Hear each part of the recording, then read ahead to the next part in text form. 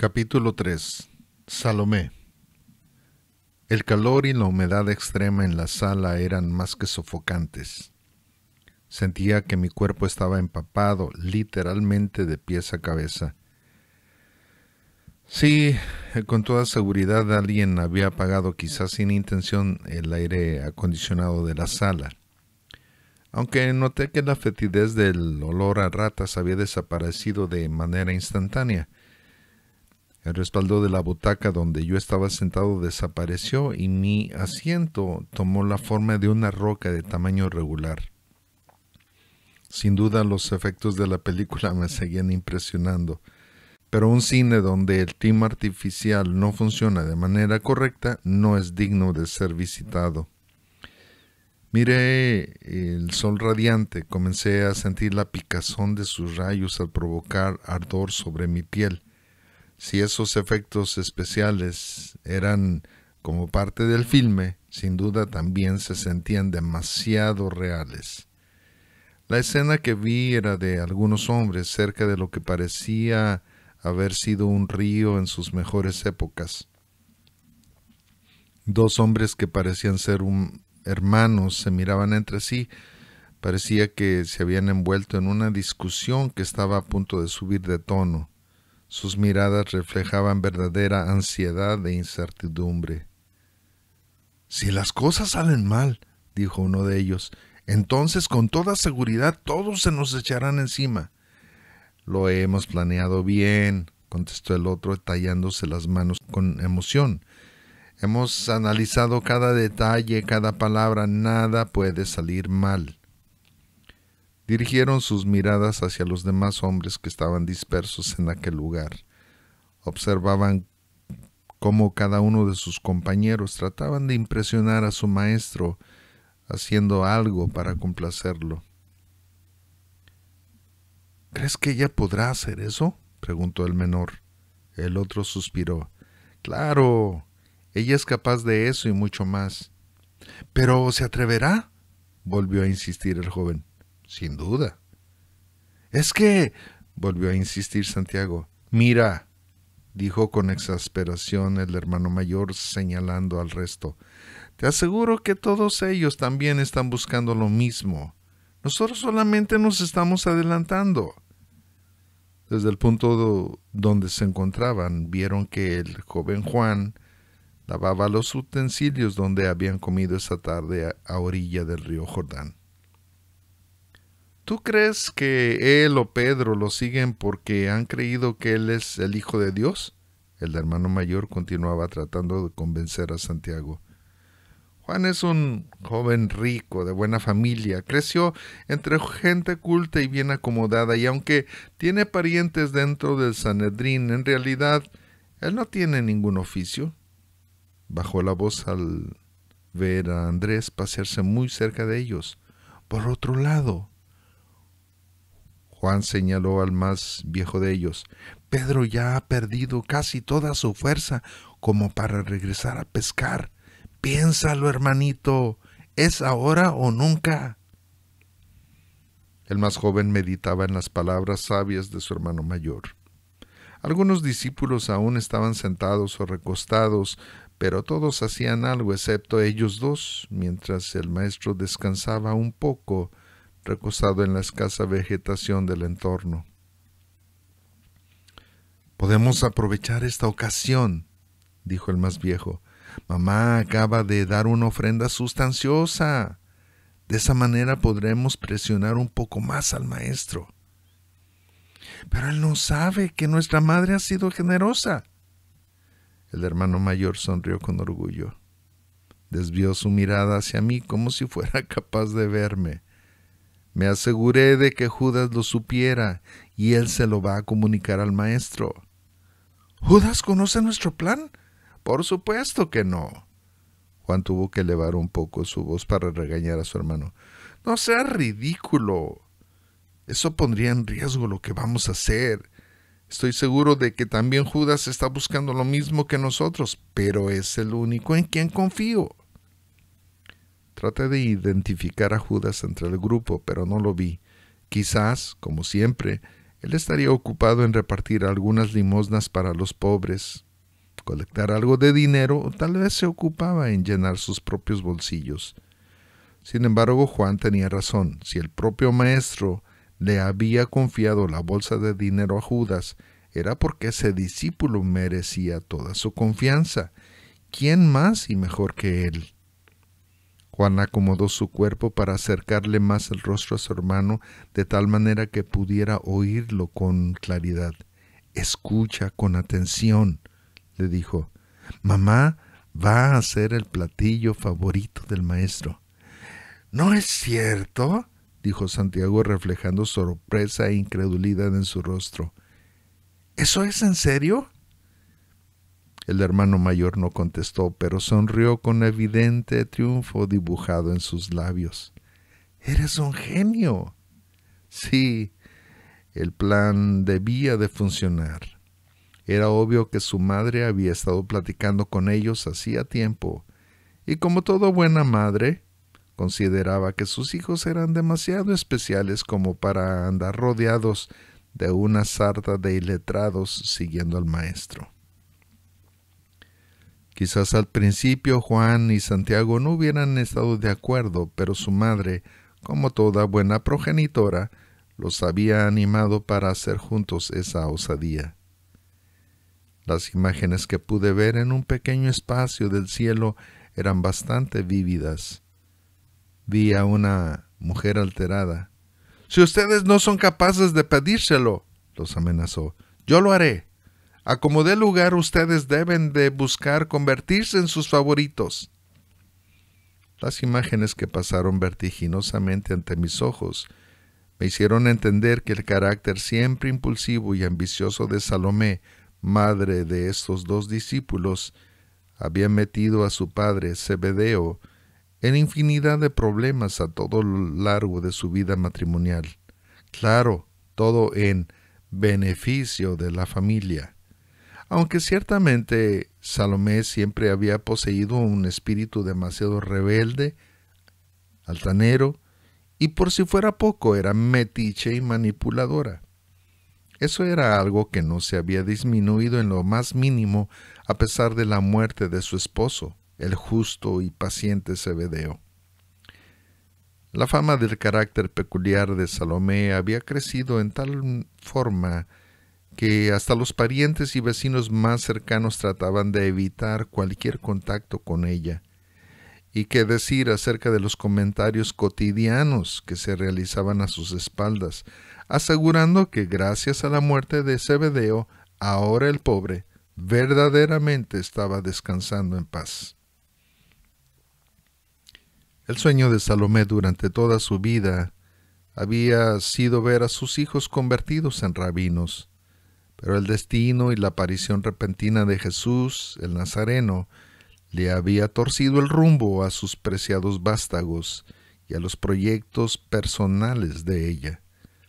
Salomé simplemente había aprovechado el momento y las circunstancias se habían acomodado de tal forma que las cosas no habían estado tan mal, pues sus dos hijos se habían convertido en dos predicadores famosos que, según ella, eran tan famosos como Jesús mismo. Si antes de la muerte de su esposo Salomé había sido una persona orgullosa, hoy su autoestima había traspasado los dinteles del séptimo cielo. Ese era el carácter de la madre de Juan y Santiago, los pequeños polluelos de mamá. En esos momentos Santiago, el menor de los hermanos, sintió que Jesús lo estaba mirando con cierta insistencia desde donde el Nazareno se encontraba descansando. Él le sonrió. Sin embargo, la sonrisa del maestro lo hizo sentirse demasiado incómodo. Hasta sintió un ligero escalofrío recorriendo su propio pellejo, que empezaba a ponérsele como carne de gallina. Santiago quiso desviar sus ojos para mirar a Juan, pero fue incapaz. Si esto se sale de control, se atrevió a amenazar a su hermano mayor entre dientes, sin dejar de sonreírle a Jesús. Te juro que te arrepentirás. Vi que Juan suspiró sin preocuparse demasiado de la amenaza de su hermanito.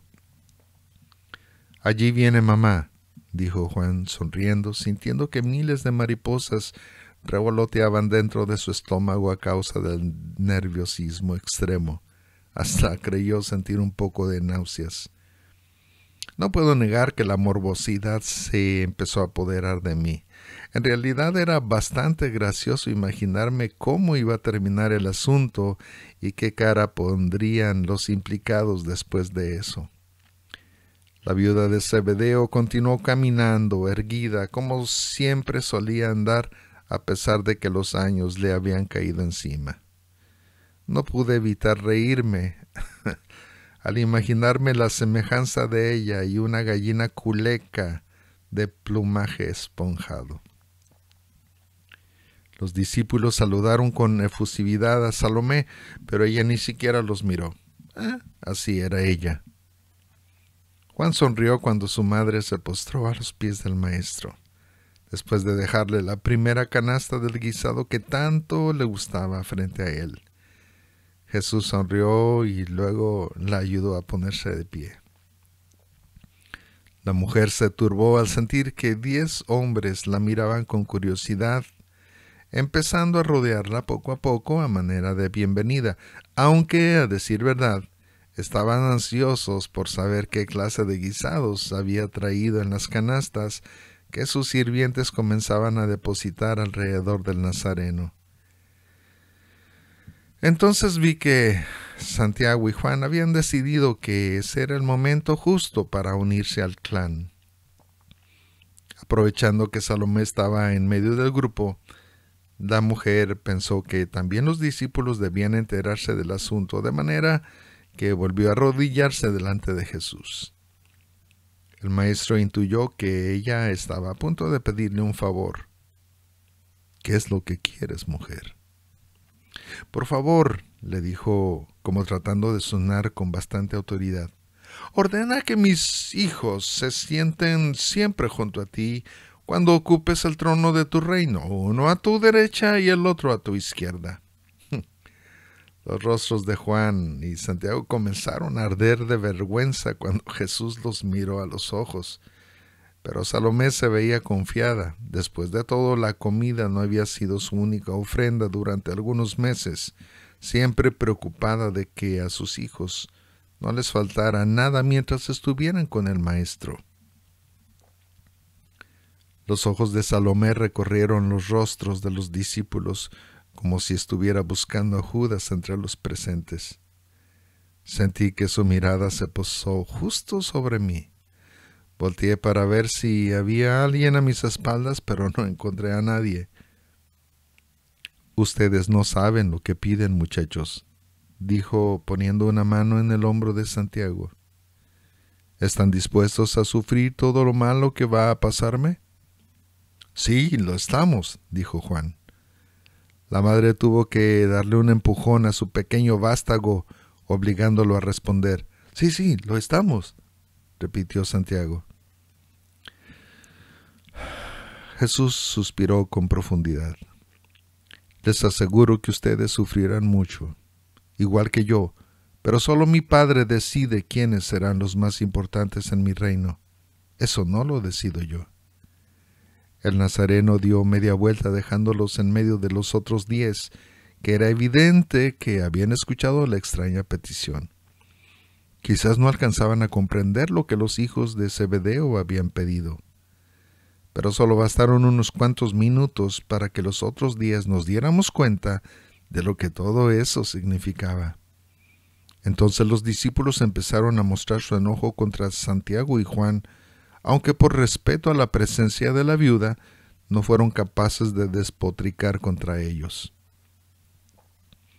Cuando Salomé, la madre de Juan y Santiago, dejó el lugar, el sentimiento de ira no se había apartado de los demás.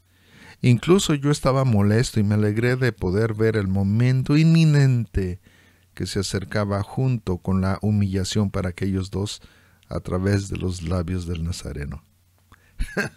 ¡Qué desvergüenza! Andrés meneó la cabeza.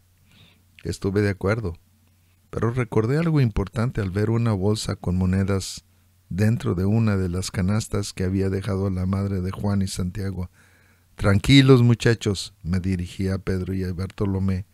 Recuerden que Salomé es una de las que más aporta al ministerio. Parecía como si Jesús estuviera esperando que los ánimos de los discípulos se calmaran un poco. Cuando llegó el momento, el Nazareno los reunió a todos. Como ustedes bien saben, en este mundo, los jefes de los países gobiernan sobre sus pueblos y no los dejan hacer absolutamente nada sin su permiso. Los discípulos se miraban entre sí esperando que el maestro les diera una buena lección al par de hermanitos. Además, los líderes más importantes del país imponen su autoridad sobre cada uno de sus habitantes. Jesús arrancó una espiga del césped colocándosela entre los dientes para hacer una pausa. Aunque eso hacen ellos, entre ustedes no debe ser así. Al contrario, Jesús miró a cada uno de sus pupilos. Si alguno de ustedes quiere ser importante, tendrá que servir a los demás. El maestro sacudió su mano derecha para ahuyentar a una mosca que se trataba de aferrar a su barba con demasiada insistencia. Si alguno de ustedes quiere ser el primero, deberá ser el esclavo de todos. Se suponía que el regaño era para Juan y Santiago, pero era evidente que todos habían sido reprendidos. Quizá los discípulos se sentían culpables porque en algún momento cada uno de ellos había deseado gobernar junto con Jesús, dejando a los demás en último lugar. Yo, el Hijo del Hombre, siempre les he dado el ejemplo de cómo servir a otros. Jesús se levantó del sitio donde estaba sentado, tomó un recipiente, lo llenó con agua fresca y se lo pasó a los discípulos para que bebieran. No vine a este mundo para que me sirvan, sino para servir a los demás. Vine para dar mi vida por la salvación de muchos. Hasta creí que Jesús me estaba mirando. El actor que caracterizaba al Nazareno era realmente bueno esa mirada me hizo temblar desde la cabeza hasta los pies. Pero yo intuía que el alma de Salomé había quedado ofendida y humillada. Me imaginé que sus ofrendas para el Nazareno ya no serían tan generosas como las anteriores. Por lo general no me gusta equivocarme y esta vez tampoco erré. Salomé ya no volvió a traer ni una sola moneda. Era evidente que el amor por el Nazareno había sido condicionado por una posición especial para sus hijos. Bueno, eso no era nada extraño para mí. Conozco a dos tipos de personas que han abandonado de inmediato el reino de los cielos. Unos por no haber recibido lo que deseaban y otros en cuanto habían obtenido lo que querían. Y los dos tipos de seguidores terminaron enfocándose a alcanzar sus metas terrenas. Por otro lado, algunos seguidores de Jesús se quejan diciendo que antes les iba mejor que ahora. Pero, ¿por qué murmuran? Aún hay tiempo de regresarse a la situación donde estaban o no. Y esa era la deducción que yo tuve acerca de Salomé después de saber que ella había decidido vengarse del Nazareno en muchos sentidos. No solo había dejado de ofrendar, ahora estaba tratando de avergonzar al maestro ante algunos de sus muchos discípulos. Después de todo, la venganza disfrazada de justicia sigue siendo una de las armas más poderosas que usa Satanás y sus secuaces dentro de cualquier sistema religioso. La estrategia de Salomé comenzaba a dar resultados. Su amargura empezaba a distribuirse, infectando el alma de todos los que le habían prestado sus oídos, escuchando todo lo que decía. Ella sabía dirigirse a aquellos que tenían un corazón dividido. Precisamente un día, uno de sus amigos más allegados aprovechó el momento para exponer su queja. Muchas de las cosas que dices son muy difíciles de aceptar. ¿Quién puede estar de acuerdo contigo? ¿Esto te ofende? El maestro deslizó su mirada sobre todos los que estábamos allí. Todavía hay algunos de ustedes que no creen. Desde ese momento, muchos de los que seguían a Jesús lo abandonaron sin mirar atrás. El Nazareno volvió a poseer sus ojos sobre nosotros. ¿También, es, ¿También ustedes quieren irse? A mí me parecía como si el Nazareno estuviera ejerciendo demasiada presión sobre nosotros. Quizás estaba sacudiendo la criba para ver cuántos de los discípulos quedábamos a su lado. Entonces Pedro dio varios pasos hacia el maestro e hincó su rodilla al suelo. ¿Y a quién seguiríamos, Señor? Solo tus palabras dan vida eterna. Después de que muchos de sus discípulos habían renunciado, me sentí más cómodo. ¿Y qué te hace pensar que tú eres mejor que los demás? Escuché una voz susurrando en mi interior. Al principio me sentí ofendido y molesto por el comentario que había resonado en mi alma, pero la vergüenza hizo su aparición después de que el Espíritu me trajera un destello de revelación. En años pasados, después de que ciertas personas habían abandonado la iglesia, me había sentido como si los que hubiéramos quedado allí éramos los únicos santos sobre la faz de la tierra. Y entre ellos yo, que a causa de mi hipocresía espiritual, me consideraba ser la última Coca-Cola fría en medio del desierto. Comprendí que en algún rincón de mi corazón también había atesorado una mezcla del deseo de poder y reconocimiento que Salomé y sus hijos habían albergado en su espíritu.